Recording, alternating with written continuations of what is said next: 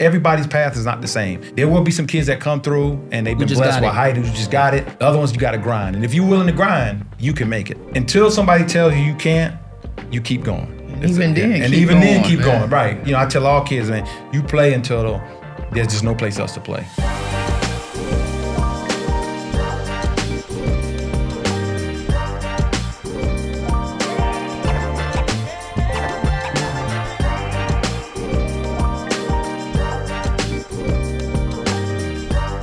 Welcome to the Tampa, Florida Pickup Basketball Podcast.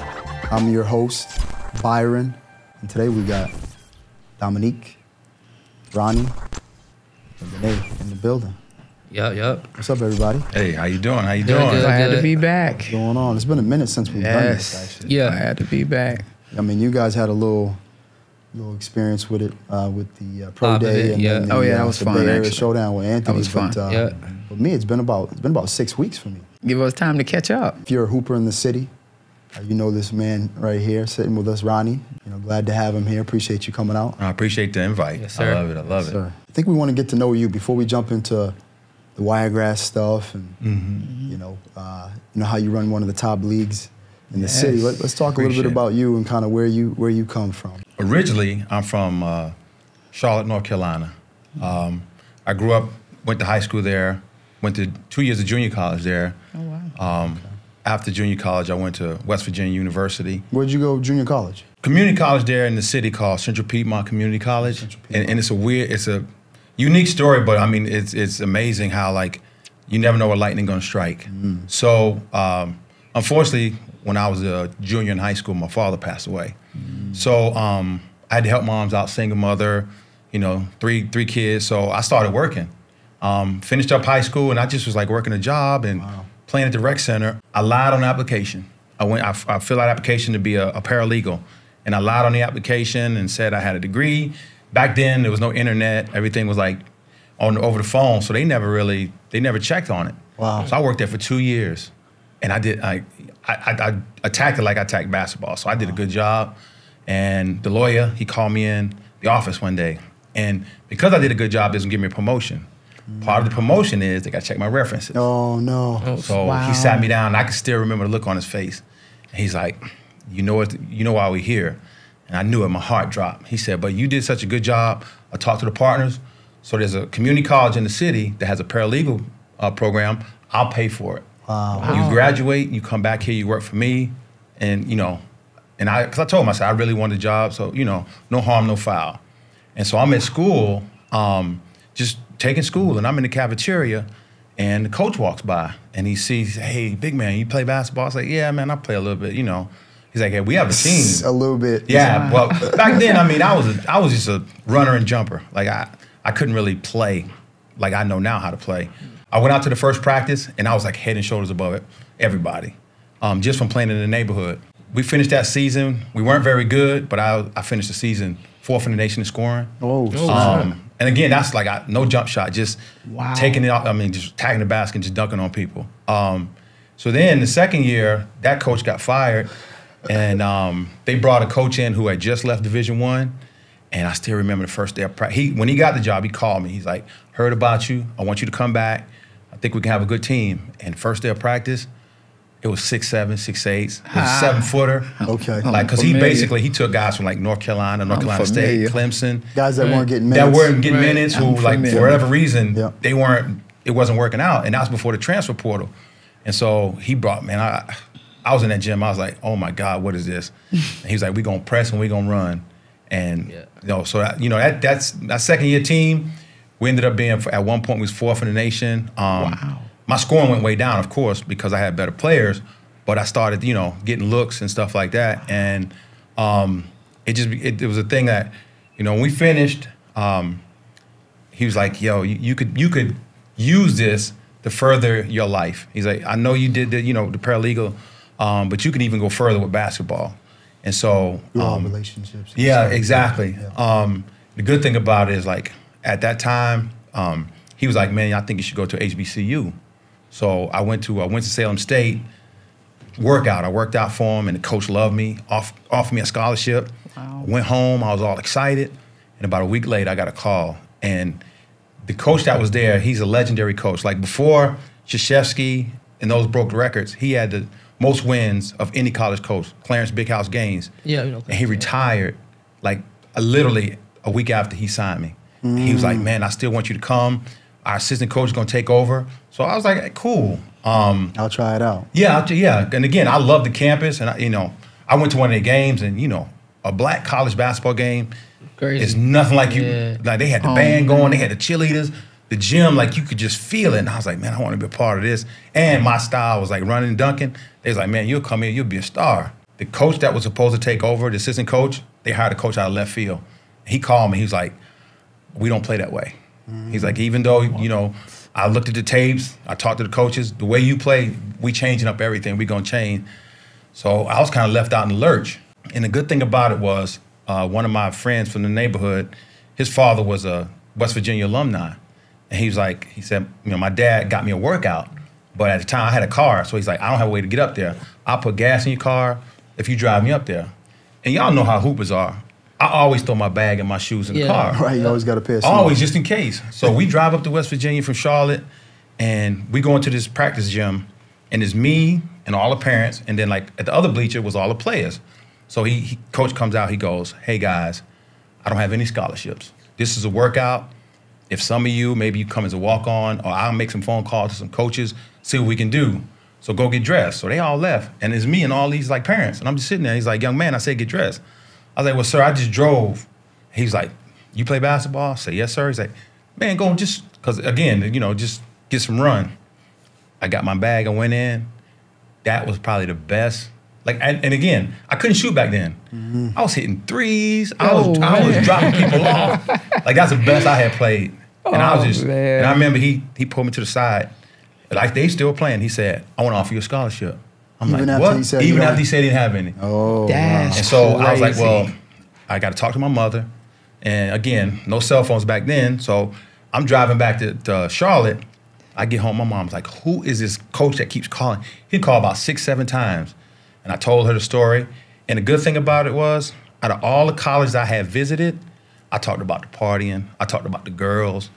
I didn't talk about none of that stuff. I just talked about basketball and the fact that West Virginia is in the middle of nowhere on top of a mountain.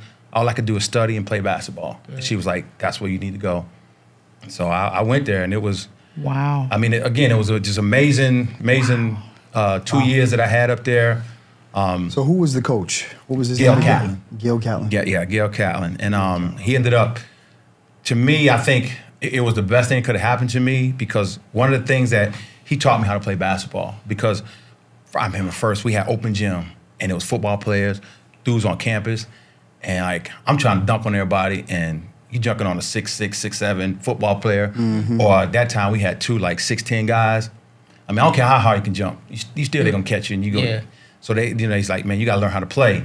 And Jerry West, you know, he went to West Virginia. His old roommate was my assistant coach, mm. and he and I'm talking about like we had a thing in practice the whole time I was West Virginia. If you could outshoot Coach Cox, we didn't have practice. We had practice every day. Couldn't outshoot. Could not shoot him. Whoa, And how I'm is talking that possible? So so there's a scene in Blue Chips. If you ever watch Blue Chips, there's a scene where uh, Jerry West is uh, I mean Bob Cousy, he's out there talking to Nick Nolte, and they're talking, and he's shooting, and he never missed.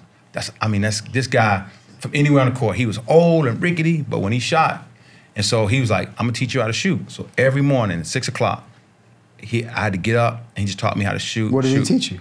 Just Gonna put us on. foot- footwork. Footwork. The biggest thing is, is just your body and Key. from your waist up, no matter where you, sh- whether it's a free throw, whether it's you know mid range, whether it's a three pointer, it all stays the same. Only thing changes is your feet and like how much you push with your legs, um, and then just like a golf swing over repetition, repetition, repetition. Because again, like I learned how to really play basketball in the playground, and I had a couple of old heads that they taught me, but they used me because you know, like now we're older guys.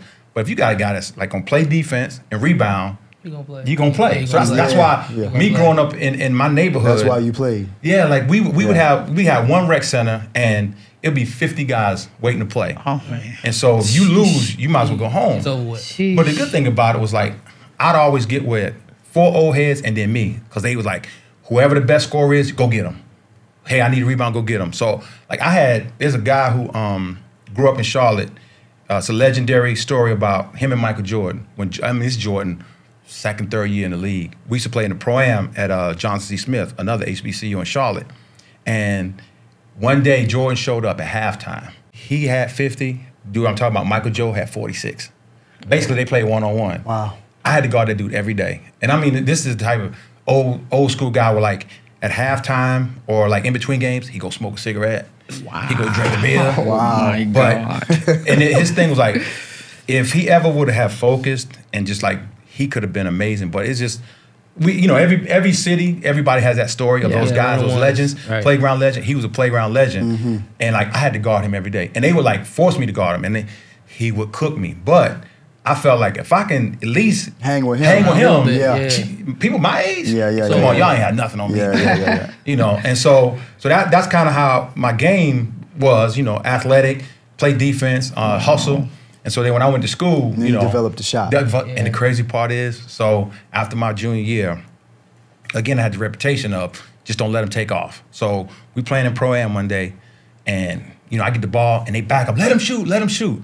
Knock down the first one. Well, you got lucky. Next time, knock down the second one. They're like, wait a minute.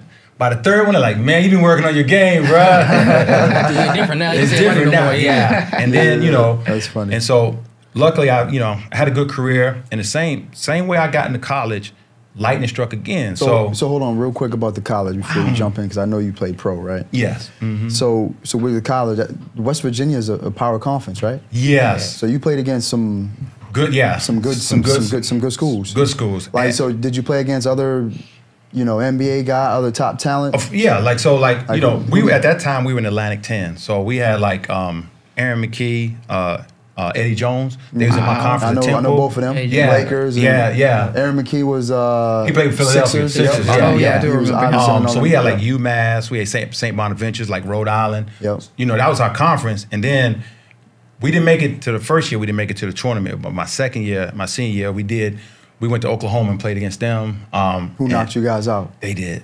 They got you guys. So I That mean, first round there. first round, and I think a lot of it too was like NCAA's a, a whole different animal. Like, Yeah. you know, we played Atlantic 10. At that time, we played on campuses. So it'd be a packed gym, but it's nothing like playing in an arena. Yeah, and like- then, like, you know, you walk out for warm ups, it's 50, you know, credentialed media Yeah. people. Yeah. And, it, you know, you look over there like, you know, Dick Vitale is doing the game. It's Yeah. just, we Different just weren't ready. Different Yeah, vibe. yeah, we just vibe, weren't yeah. ready. and Oh, it was, you know, we knew, I say by like midway through the first half, we was like, either we got to start hitting, you know, getting lucky hitting shots, or we in it for a long day. Yeah. Um, and so yeah, so they knocked us out. Um, and then you know, again, it was experience. That's the thing. Is like you just want to go for the experience. And then again, you know, you walking around the hotel, and you know, you like I say, you you see, uh, you know, people that you saw on the news or on TV or. You know, we didn't get a chance to play national TV games, but some of those teams did. So you're like, man, I saw him on Yep. CBS last week. You know, so Yep. Wow. the experience was like, oh, it was awesome. Yeah, that was back in uh, Dickie Vitale's. That was in his day back yeah. So then. WVU, that was part of the Big East, uh, in like probably We- like 89, 90 then probably. Yeah, so they Yeah. they switched because of like again football started to take over. Yeah. and so they switched to the Big East. Um, you know, we we were a football powerhouse when I was there. Right. And again, like we were in Atlantic Ten, but then football just got so big that you know they had to they they switched to, to the Big East. Yeah, because I think St. Bonaventure, uh, St. and, and then um, Rhode Island are like like small mid majors now, Yeah, right? right. They are. Yeah, yeah, yeah. they so are, yeah, okay. mhm. And again, it's because of football. So you, so tell us a little bit about the pro, like how that whole. So um, again, I graduated. I just thought, you know, that's it. You know, had a great career or whatever. Um, and I'm playing in the pro am again. And in the pro am, you know, every team had two or three like current pros in Charlotte back then. So like you'd have Charlotte Hornets guys, you'd have come people who would fly in. You could fly in, and if you're a pro, they automatically put you on the roster for Right. that day. And so my teammate, he played at uh, Coastal Carolina, Okay. and he played overseas for like by that time I think it's like four or five years.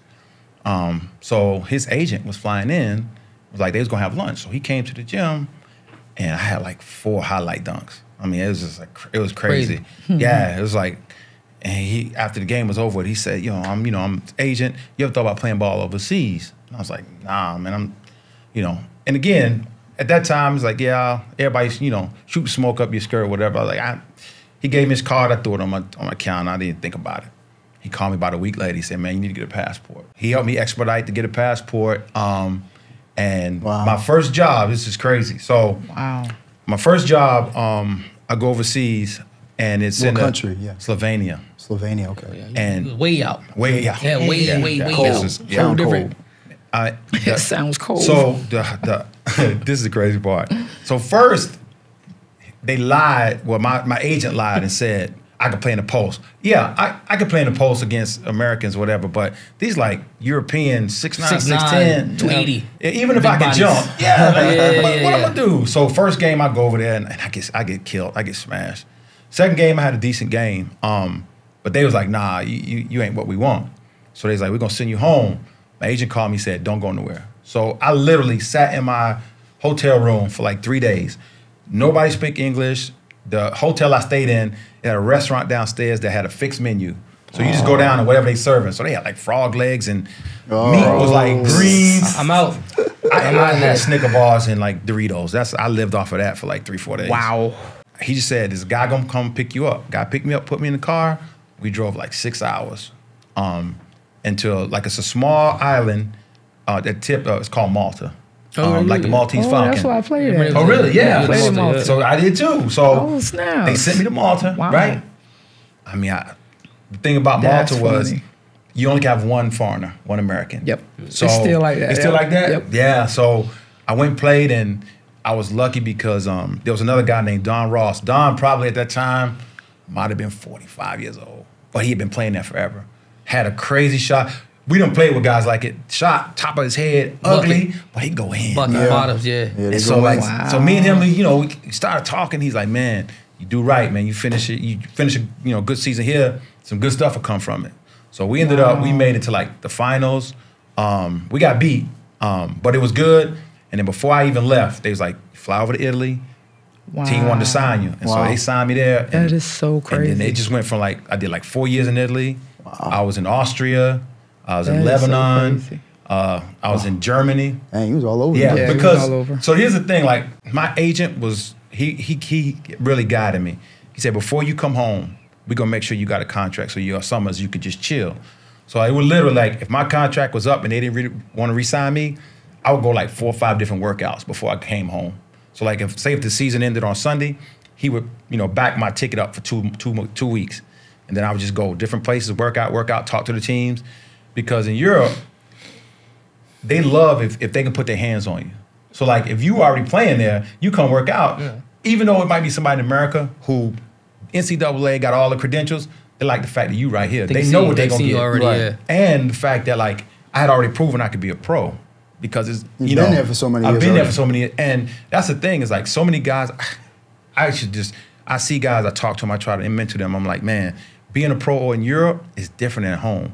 Like you got to really respect, first of all, the country. Culture. You got to respect culture. Yeah, You got to respect the respect the game, and you have to be your own, like trainer, like all that stuff. You got to do yourself. You can't rely. You know, when we're home, you know, hey, this is what time we practice. This is what time we got workouts. You got to do all that stuff on your own. So you know, I try to tell that to guys, and that's I prove to them like I could be a pro. They didn't have to worry about me. I'd be at you know practice on time. I stay late. I get there early. You know, if, if they got shooting stuff going on, just and so once I proved that, I, I mean, uh, until I retired, I still had offers to play. So how many years did you Wow. Total, I did 15. play? Play 15 Oh, so years you're a hooper overseas. for real. Yeah, all yeah, I over did the was a real career right there. I thought you was like a little Yeah. little Yeah, hooper. yeah, You're a for real yeah, yeah. I did 50, 15 years total. And the crazy part is like I still remember like 9-11. So I was playing the Middle East during 9-11. And I was I was home actually watching it on television. Me and my son, and it's just like, you know, I was like, am I gonna do this again? And I still remember I flew over uh, back to Lebanon. Wow. Um, and I played like half a season. And it just the, the environment had changed because before 9-11, the Middle East, they loved Americans. They loved and, and in Lebanon especially because they got McDonald's, Kentucky Fried Chicken, Subway. Like they at that time They, they wanted they Western they wanted to be America. yeah. They had like nightclubs, you know, everybody drove around in nice cars. And then when that happened, it, the whole tenor changed. So like I was being cheered before, like I'll come out and they like they be booing me. Yeah. Just because you were American. Just because I was American. Yeah. Wow. Yeah. And so I played half that season. And a matter of fact, Chris Ward, He, you know, Yeah. he he played with me overseas Coach too. He was- yeah. Coach Ward, yeah. So he he's playing for another team. Me and him had a nice little conversation, man. He we said- both, he sensed the yeah, same thing. Same thing, right? You know, it was just like, This is before or after we, because we attacked Wow, back, right? man. yeah, one- yeah. This was after, yeah, this was So after, after we, yeah. after we attacked, and at yeah. that point, and yeah. so like you know, it was just like, and uh, he was saying the same thing, like, man, I kind of miss home. Yeah. This ain't like, you know, it used to be fun, and now this is Yeah. like Dangerous a little bit for real. For real, for real. Yeah, yeah, yeah, yeah, yeah, everybody in the crowd ain't cheering for you, for real. Exactly. That's the thing. You know, Yeah. you know, before it's money. like, you know, ninety nine percent of the people there, they like, hey, America. now it's the other way around. They like, Get out of here, bro. Yeah. So I was just like, yeah. Yeah. And so I, you know, I, I came home for Christmas, and it's just like I told my wife, I was like, that's it. So where was your? Uh, That is. I'm gonna let you guys get in here in a second, but what was your favorite place to play? Like, How where about was the you- Yeah. Yeah. yeah. I say two places. Italy because of the money. I'm not gonna lie, money was good. Um, That's and, why- and, that's and, why and basketball there was for good. so That's why I stayed there so long. And Yeah. at that time, it was the second best country, you know, league in the world because like cool coach played over there. Dominique Wilkins, when he retired, you know, when he left the NBA, he played over there for a couple of years. Um, so I mean, they treated you well. The games were like NBA games as far as like the production. Um, so that was as far as on the court. But I gotta say, man, I stayed in Lebanon three years.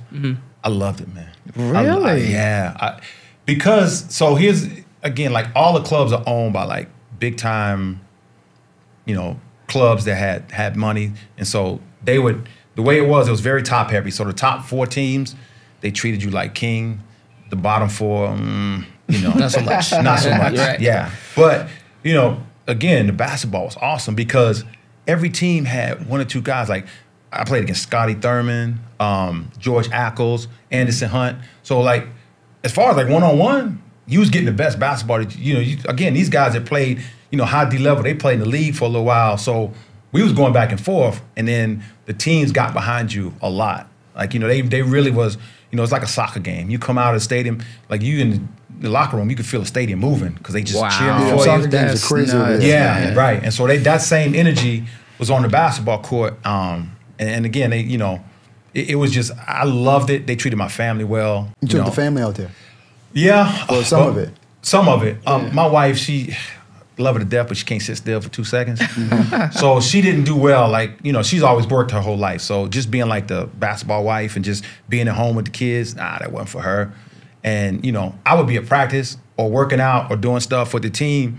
You know, six eight hours a day, and she's in another country, just there with the baby, and just like ah. And then when my son got born, she's like, I'm not doing, I'm not taking both of them over there. Right. And so yeah, so they stayed at home, um, and it was just you know, long distance. And again, that was when you had to make a phone call, you had to go to like a Payphone, cafe. something. Nah, it was a ca- it was an Yeah, internet so cafe. challenges with that. Yeah. Yeah, In yeah. itself, just being long distance just being like long that, away distance, from the yeah. family, So birthdays, like- Christmases, Yeah, I can't holidays. imagine that. Yeah, so I already Yeah. How long know. were you in Italy for?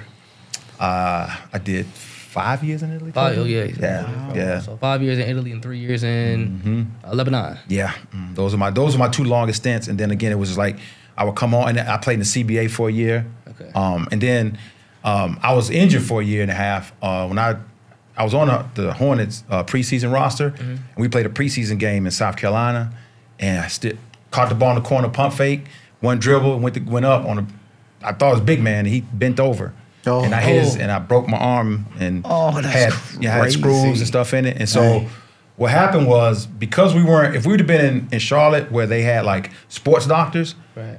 they would have put me in a cast and a sling.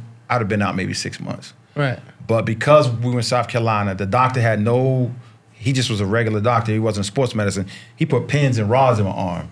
And that made me be out a year and a half. Oh man. Yeah, because think about it. If your arm is like this for six, eight months, Yeah. it atrophies. Yeah. So when they took the pins out, little like my wrist basically was the same size all the way up. So I had to rehab first, getting range of motion, getting strength back, and then like shooting and stuff like It was that. your right hand too? Left. Oh, left. Okay. Yeah, because when I, I went up and I put my arm out and I hit, Okay. yeah, which they say you're never supposed to do, but when you, I mean, You fall. what you gonna you do? fall, what you gonna Right, do? Yeah, yeah. So, Right. yeah. So again, I, you know, I just bounced around as much as I could. Um, once I started to, like I said, that I, I got tired of going to NBA camps in the summertime. Um, and you know, you do well, but you're not gonna make the roster. So once I just They already deci- know what they're gonna take. They already know what they're gonna yeah, take, yeah. right? Yeah, and they so, already you know, yeah. once I, I came to grips with that, and I was like, I'm just gonna be a European player and, and, and make a career out of it.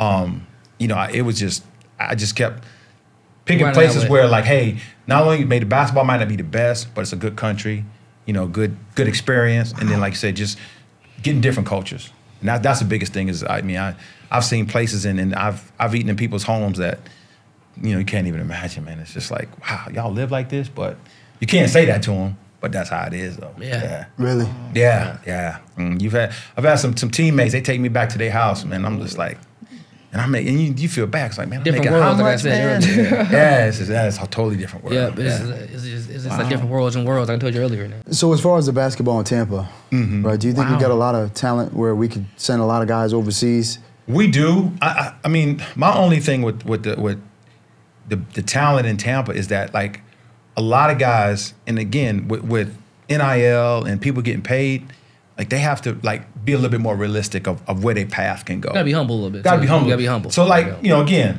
with transfer portal and stuff like that. Say if, if I'm if I'm coming through high school, I'm not even looking at a D1 school.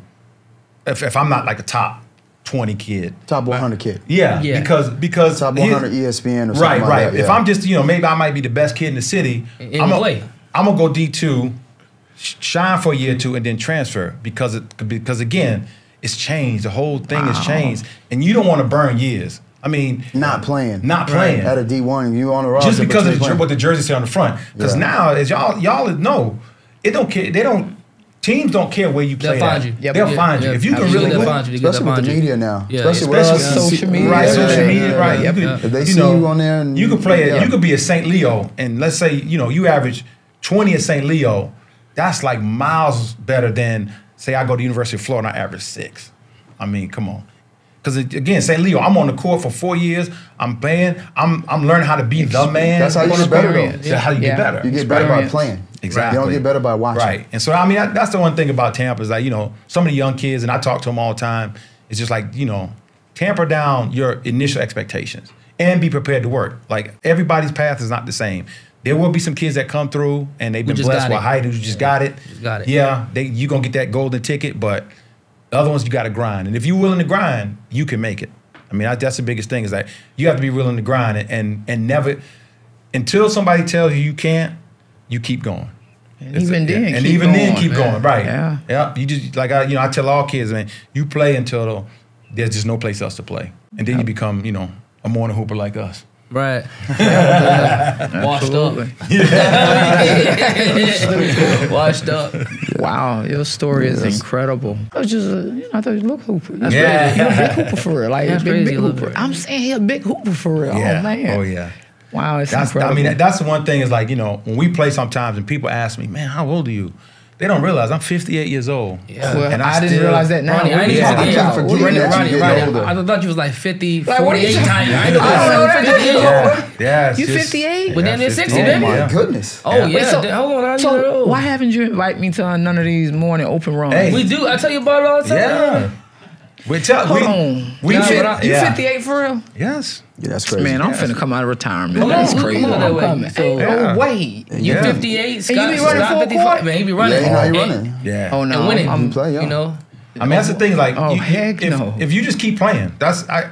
You can't stop. You Once stop you stop and you yeah. get like out of out of shape, eh, it's it's, It's hard to get back in, Yeah, but if you keep playing, I mean, that's that's why we do. So like you know, we do the morning runs. Yeah, but gotta Tuesdays, get Yeah, I down play in the men's league when I can, and I just whenever I can play, I just get out Hey. there. You have to. You, yeah. you telling the truth? yeah. For Yeah, real. Ronnie, I knew he was 50. I thought you was like Come on. 50. 50, 52. I'll take. like Hey, I'll take all. I'll take all the numbers. Yeah.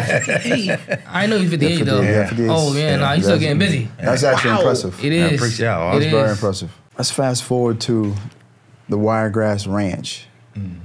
You know, see, I know you from back in the day playing at the Tampa Palms. Yeah. Right, where you used to, you know, yeah. me and Renee and you know all them guys, Pat and all those guys would be Right. at Tampa Palms. I think two days a week. It'd Yep. be like Tuesdays and or Mondays and Fridays or something like, and then Sunday too. Actually, Mm-hmm. Yeah, yeah. We used to do Sunday. Yeah. That yep. Sunday I remember Sundays. Yeah. Yeah. I remember That Sundays Sunday run, everybody would come out there, right? Yeah. How'd you get affiliated with the Wiregrass Ranch?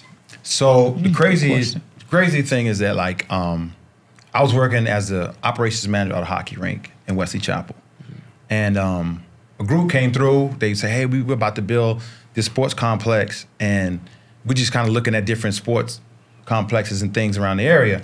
And someone said, "Hey, you know, that's a basketball guy right there."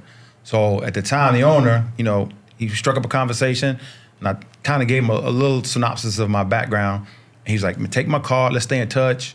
you know. So, you know, he never should have gave me his card. I hounded him, man. I was like, I would call, hey, Richard, man, let's let's talk, you know. So we go out for coffee, we talk, and our vision about youth sports and like what it should be, it aligned. It was like, you know, magic. Like we he thought like I thought. He had some great ideas I had. So we just stayed in touch. And that whole process was probably two, three years before they broke ground. And Wow. he called me, he said, Yo, we breaking ground. I went to the groundbreaking ceremony. Um, and then he offered me the job. He said, Before we even start, you know, any kind of construction, I want to offer you the job. You know, at, at some point I'm gonna call you and say, It's time to come. Um, and he did. He called me, said it's time to come. So we used to, you know, we met it before the building was finished at a hotel um, ballroom and just hashed out what we thought you know Wiregrass should be. Um, and you know, for me, it was a blessing because that this is my dream job. I mean, I love basketball. I love being around the kids. I love working with the families, and it was just like, you know, match made in heaven. And I had the freedom to build that program in my vision, what I wanted it to be. Wow. Um, you know, and so I, I did. I built all the programs from scratch, and you know, and the good thing about it is I had the connections in the community with you know a lot of basketball players, and and I, I knew like you know like we talk about the, the men's league. I knew what I wanted the men's league to look like, and so you know it's a it's a daily grind to keep my vision going.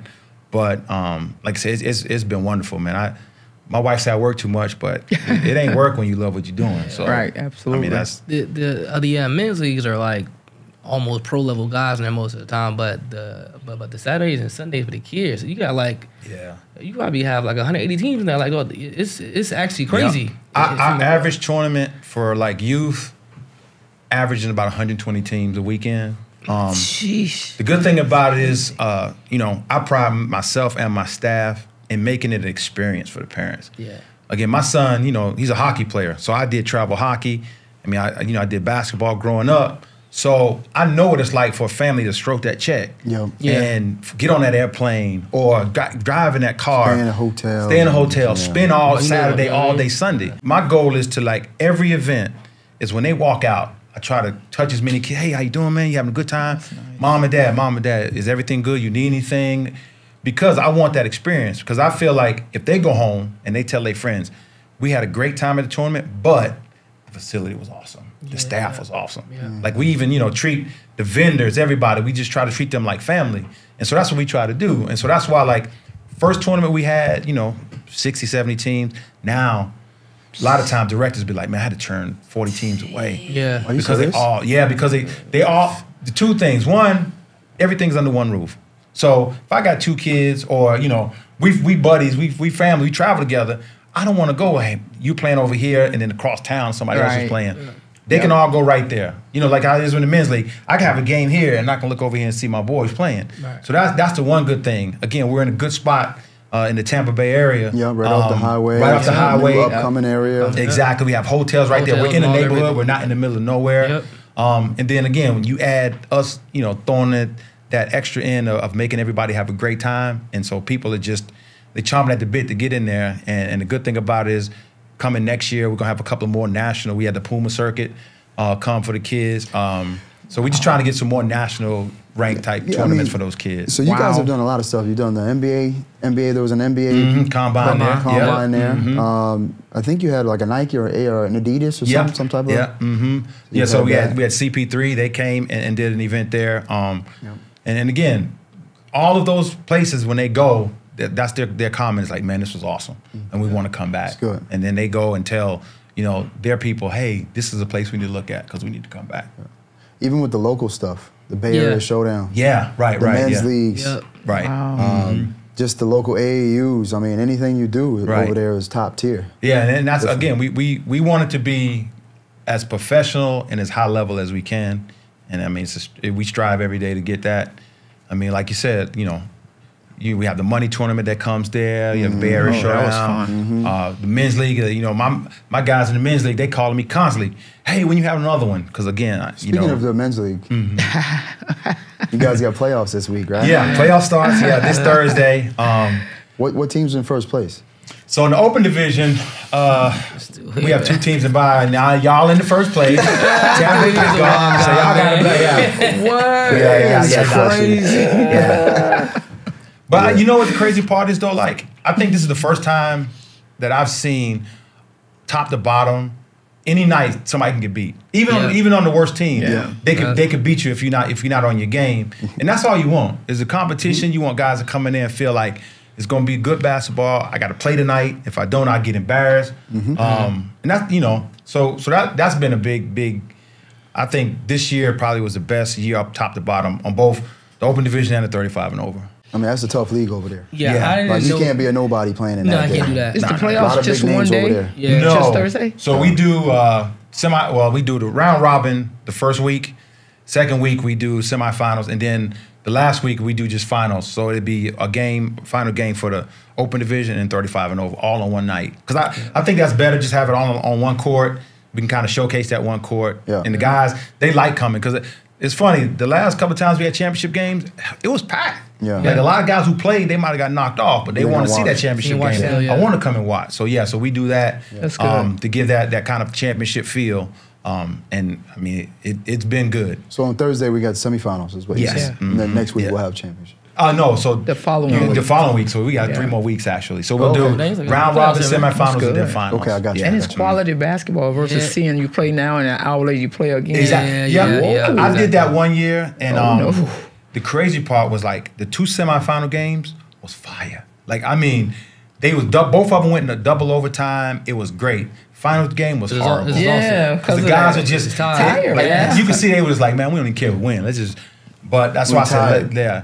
And so I, and the good thing about it is, you know, I work with some referees that don't mind just coming for that one game because that was the thing. Is like refs, like I don't want to come for one game. Like no, the one game you're gonna come for, I'm telling you, It's a quality it's a game. quality game. You're gonna Yeah. really like get your work in. So then they were like, yeah, we'll do it like that. you know, Wiregrass and YMCA. I guess I guess uh I guess Hotel Bay Area, right? Mm-hmm. Um, how I phrase this question without making it.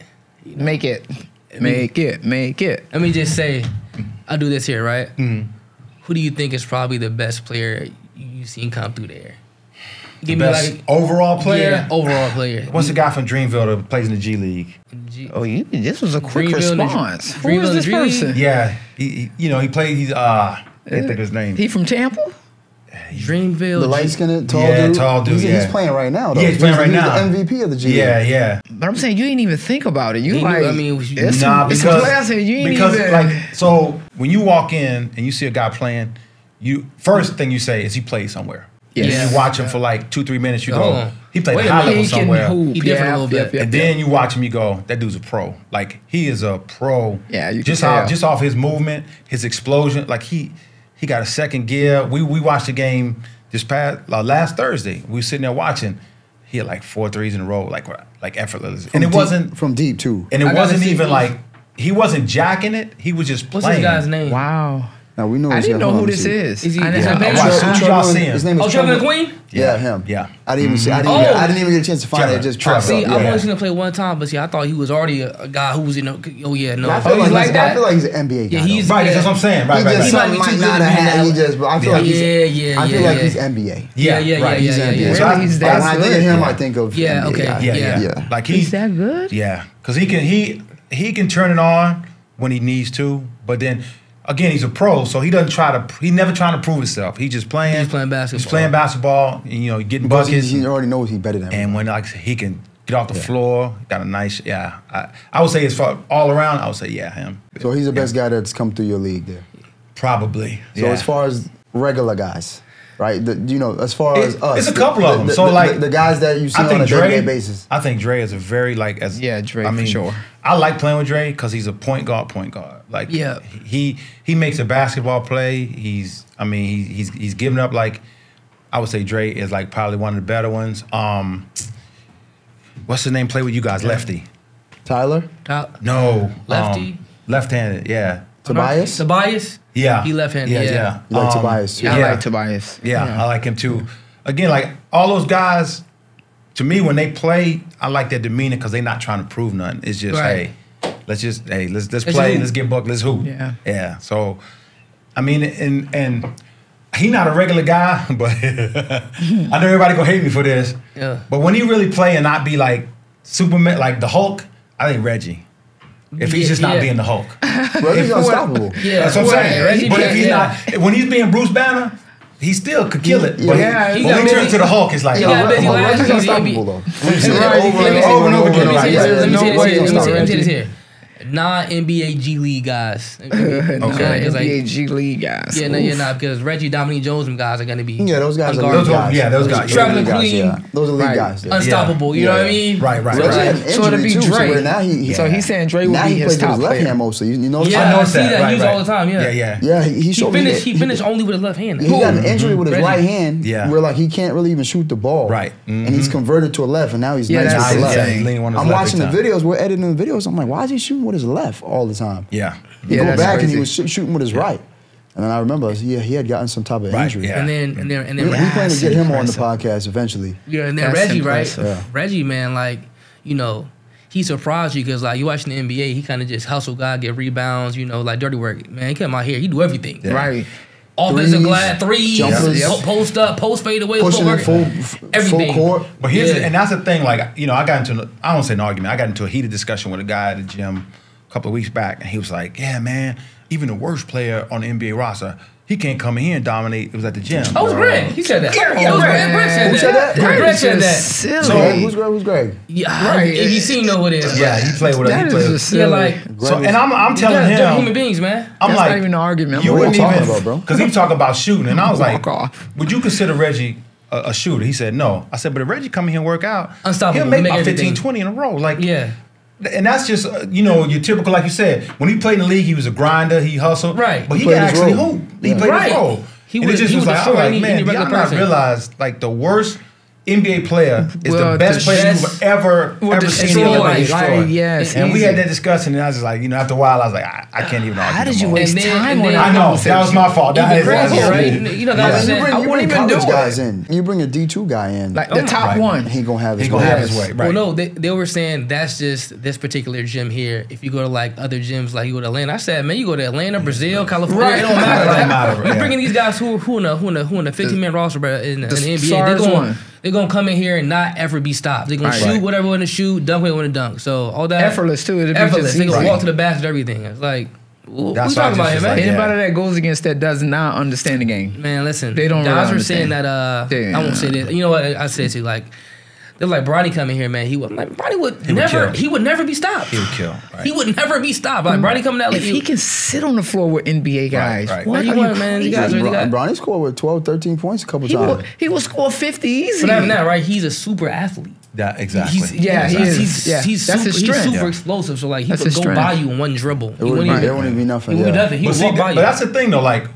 The- the- It- it's the compared a higher, little bit though. Yeah. the higher level you go up, you just think of it like this. So, at pickup basketball, six four is a big man. Exactly. Really, that's a guard for real. That's a guard. That's a mm. guard. But then if you talk true. about pros, six four is a point guard. And six five, small. six six, and you're small. Right? small for real, right? When I went, I, I went to Dallas Mavericks camp, and I saw Jason Kidd face to face. I'm like, dude, you my size. He's like, yeah, but you look on TV, you think he's six one, six two. Yeah, but really, he's big. 6'3", 6'4". Right, Damn, Husky that's a little bit too, crazy. right? Right. And it's just like that's the thing is like you get a guy who's six seven six eight does the same thing that a six two guy does in you That's know crazy. local pickup.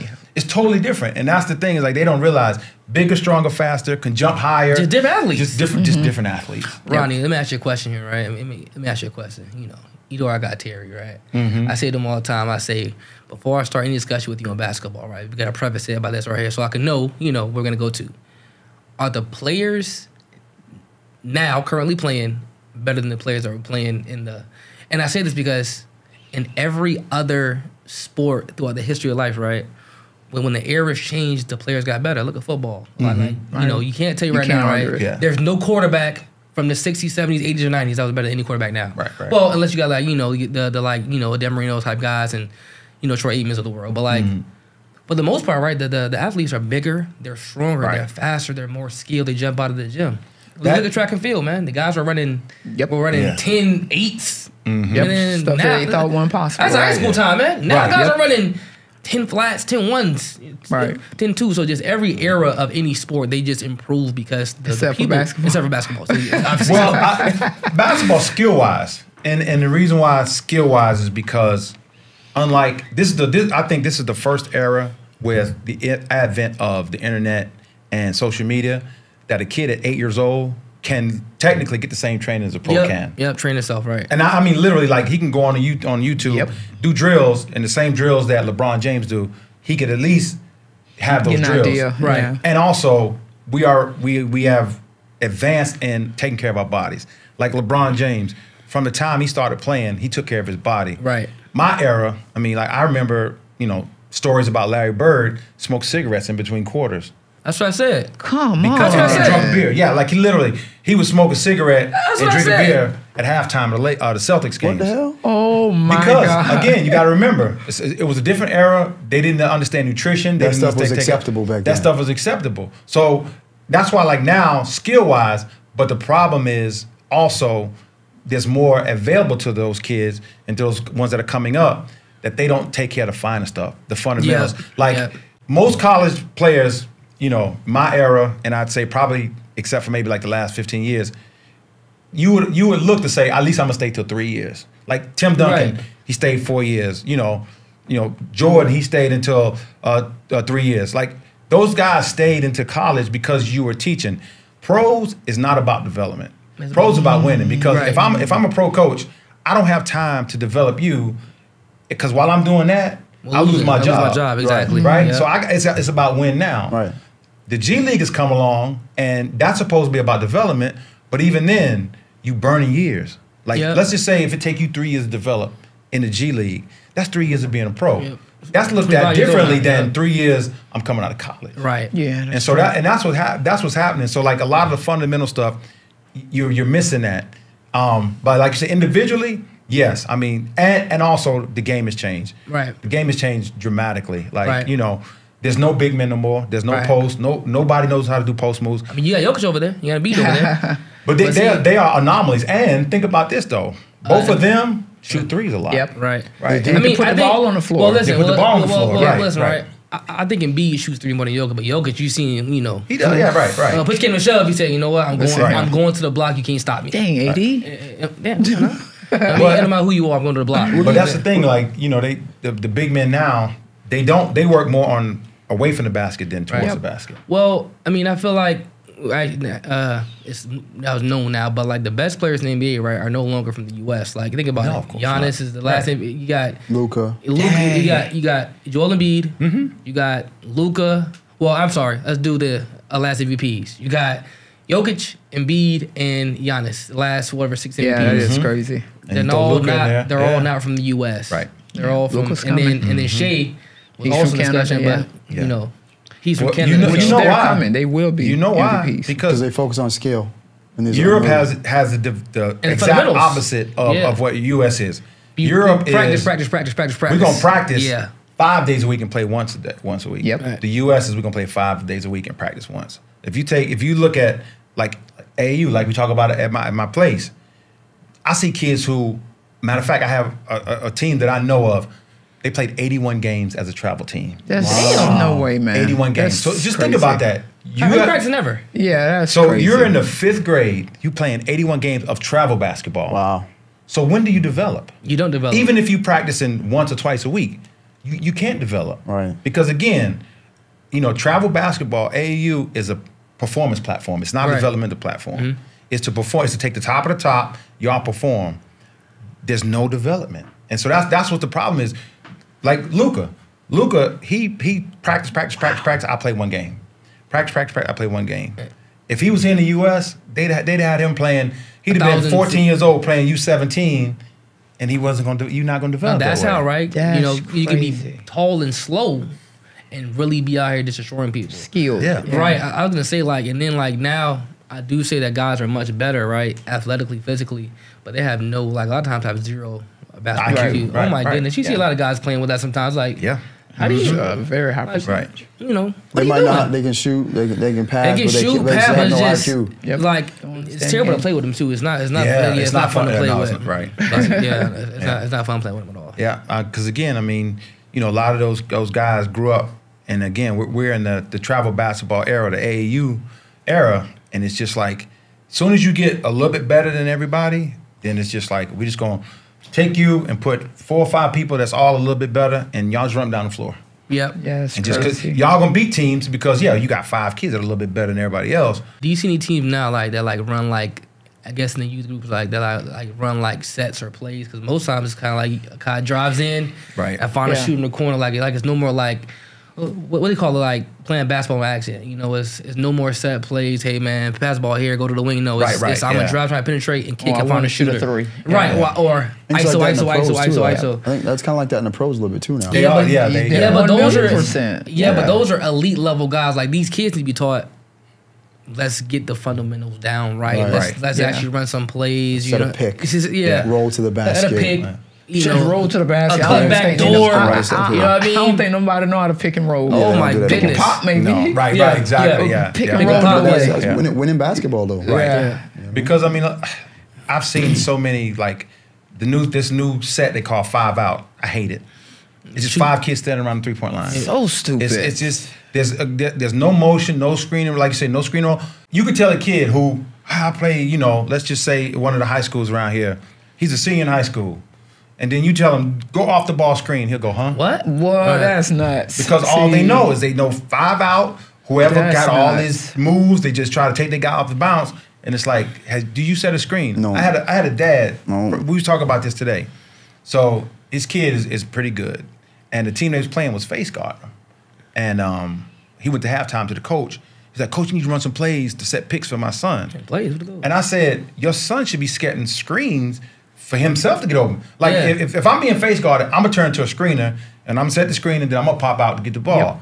Didn't even know. And the dad was screaming, somebody set a screen for him. I'm like, see, that's the things like that's that's just like common basketball knowledge and IQ that the they don't have because it's all about let me get the ball, let me score, and not like how can I help the team, quote unquote. And, and that's unfortunately that's kind of the downfall of the US game. Yep. Wow. Yeah, and that starts with the coaches. Yeah. Mhm. Parents, the coaches, starts with all that. Everybody, Yeah. it's just being money focused, winning Right. on the weekends, playing Yeah, AAU. yeah, because like one of the, one of the things that um like we offer at, at Wiregrass is a developmental program, and when I tell parents, "Hey, won't you sign them up for the developmental?" They feel like it's an insult. And I'm like, no, that's developmental is you're gonna get court time, you're gonna get practice, and you're gonna learn how to play. Right. And we're not worrying about winning, we're worrying about teaching because, and I've seen it a thousand times. You start doing that stuff where I just want to play travel, travel, it's merciless. Like I seen, you know, teams that are beating a team 55 to 2 and they still full court pressing. Mm-hmm. And kids are like literally crying, but there's no mercy because this is travel basketball. Yeah, we, beat, we beat a team this weekend by 55. Do you think that's a wear and tear on their body in the long runs when it comes to the injuries with I do. these kids at 19, 20, 21 more so than when we played? I think so because you know, again, you they don't take any time off, and your body needs time off. Yeah. Your, your your brain needs time off Yep. just to mentally, hey, let me reset, let me get away. Like you know, I grew up. I played every sport. I played baseball, basketball, football. You know, we played soccer, which we didn't know what we was doing. But it was just like, hey, let's just do something just to be active. Right. Right now, everything is so regimented to like, you know, kids don't just take time away from the gym. Even in the off season, you can say, hey, take some time off, do something else, go play t-ball, whatever. Go be a kid. Go be a kid. How about yeah. that? Yeah. I still get the phone calls. We still get, hey, coach, can we come work out? And like you said, what happens is you don't realize it. Like all that stuff you do at 9, 10, 11, 12, at some point, 15, Right. 16, 17, it's going to catch up. Yeah. Because your body, that you know, we- we only have, you know, I, I firmly believe this. You only have a certain amount of hours that you could put on your body. Yep. Without, without, with no break, you just you just constantly wearing it down. It's like a car. You only can drive it so many mi- miles. Right. If you burn those miles early, Right. when it's time, like when it really counts, Eventually, you go plateau. you're gonna plateau. So, yeah. Eventually, so yeah. many Yeah. injuries, yeah. Or kids Absolutely. gonna burn out, which I've seen Yeah. that too, where kids, you know, dads, done are- with no they more, come to me no and more. they like, man, I need your advice. You know, he's in the 12th, he's going to his 12th grade. He tell me I don't want to play no more. Wow. You already played a thousand dollars. Yeah. You played him too much. A million dollars in Yeah. basketball already. Yeah. Because it ain't fun for them no more. Mm-hmm. Because you think about it, if, if if you make it like work when they're young, that's all they gonna think of. It's not fun no more. It's a job. And and at some point, like if you play this game long enough, it becomes a job. The longer you can stretch that out, the better. Because when it becomes a job, you can't be like, man, like you know, we can get up in the morning and be like, man, I ain't going today. right. Right. And this everything is cool, but you can't do that when that's your job. When that's you're in school or you or you getting paid to do it, you can't just wake up and go, I don't want to go today. Because then they'd be like, yeah, you don't got to come today, tomorrow, or next Right. week. Yeah, you can go back home and we'll find somebody else. So Quick, too. Yeah, so like that's why the I try to say, hey, don't burn yourself out. Just have fun with it, because we all play now because it's fun and we Right. enjoy it. We didn't get burnt out. Where like you know, there's some people who are like, man, I don't even touch a basketball no more. Why, man? I'm just tired of it. Right. Nah, Byron, that- is that you, Byron? I mean, maybe, maybe a little bit. I think so. What? So, yeah, Maybe a I little can bit. that. I can make them come back. No, but I find other ways to get involved. Like we doing Right, this. exactly. Yeah, right, So I'm right. still so he's still around in the game. Yeah. Yeah. So For the I- I last just- three years, though, you have said you was gonna go gonna play. play. I Yeah, maybe, mean, yeah. to his Yeah, defense, you've we're, that. we're waiting. Like, I might you do it. I mean, I'm almost 40, so you know. Come on out there, When I turn 40, I want to be like Ronnie, 58. Yeah, there's literally no excuses, man. Ronnie Just been in keep more You probably playing. still dunk too, huh? Hmm? You cannot. that's yeah, I crazy. can. Yeah. You Yeah. telling me if I come 58. up there one of these mornings, you go- you gonna be able I to do dunk that just 'cause You Yeah. basketball? dunk on Drew ever or nah? No. There's no way you still dunking this basketball. Yeah. Oh yeah. Oh yeah. You be able to walk up there and go boom. Yeah. I mean, I, I've lost like, so in my prime, like when I was really, I probably was like at a 44, 45 inch vertical. So I've lost a jump out of lot. but So I you probably still- 30. Probably. I mean, I can't like throw it down hard, but I can. I Just can put get it in. Yeah, That's I still can do that. impressive. Yeah. What- Oh, I just want to see you go boom. yeah. But I'm not dunking on Drew. Yeah, nah, in July Yeah, but I'm not dunking on Yeah, Drew. Drew gonna hurt you. Yeah, bro. nah. I, to, But I- y'all know Drew. He seen him We now. played today. Drew- he he Drew got me in the gonna blow post, and I was like, "You can have the bucket, man. I, I gotta go to work. I'm not. Yeah, man, give you elbow, getting- yeah, shoulder not- kick, yeah. uppercut Nah, it ain't- combination. It ain't worth it. No, no, no, no, no, no, no. Let me get your thoughts on the transfer portal. Oof. That's a tough. So and let me caveat this by saying my son transferred. So mm. I'm gonna say this with a grain of salt. I think the transfer portal, the way that it is now, and the way that it's used by the majority of kids, is a bad thing. Okay. Because it, it reinforces, I don't like what you're doing, so I'm just gonna go. I'm just gonna go. Mm. Like the the transfer portal was initially like, okay, I go to a school, maybe the guy that's in front of me is a lot better than I thought, so I don't want to get in playing time. I talked to the coach. We both mutually agree. So let me find another school where I can go Right. to. Now it's become I don't like what's going on here. I'm gonna go here. This guy, this school can get me more money, and it, it's just it it it's hurting the game more than it's helping it. And It's I know that's into that wasn't the business now. intention. It's turned into a business. Oh yeah, it's like Especially with the NIL deals and all the that. whole like amateurism. They they might don't even say that. It's over now. Don't even say student athlete anymore, because again, if if I'm on campus and I make more money than anybody else on campus, then how am I a student athlete? I'm just an athlete getting paid. I mean, it just again, it, it there's no regulation. It, it has to, we, they have to find a Yeah. happy medium. Yeah, they're gonna figure it out. though. I hope so. But I hope like- so. I mean, they're gonna make the attempts to figure it out. Yeah. Then Yeah. You know what's happened, though? but they got to do something. they have to do something. You know what has right. happened though, right? Because for years the uh, the NCAA as a governing body was just out here like just that was terrible. Right? Yeah. Taking advantage. Yeah, Oh, yeah, yeah, they- you, you can't do Yes. that. Yeah, right. Making so now, billions of dollars. so- More than Right. that. Not paying nobody yeah. nothing. But see, what they did was they overcorrected. So they went from Yeah. not paying anything to like, hey, let's just throw everything at them and they can get everything. Which I was always for athlete, student, student athletes getting paid a little stipend, like you know, Right. some money again. You Because know, they putting their time. They putting their time. effort, Yeah, right, yeah, right. yeah, It's not like they can go get Right. a job. But Right. but And make but money. yeah, but Yeah. the but the going from that to you know, you know, dollar Shedeur. Sanders making four million dollars a year, That's five million a year. Yeah, That's crazy. That's crazy. Yeah. That's crazy. And again, as, as, as if I'm a coach, you see why coaches are getting out of the game. Because if I got student athletes and I, I can't tell you nothing because you're making more money than me, I can't coach And you. you can just leave if I say the wrong thing to you. At least that's the I low mean, that, so that speaks to how much money is actually in sports. yeah. Oh yeah. If they're able to pay this man right, four right, million dollars, That's Yeah. crazy. that Yeah. speaks to how much money's really how much money they've been actually been making this whole time. Yeah. Once once the TV contract started to kick in and the TV co- uh, network started paying, um, and like I say, like football is a, is a booming business. So college football is like driving the, the bus, and you know they they signed like a one point you know one point five billion dollar deal for college football, and you got networks bidding on it.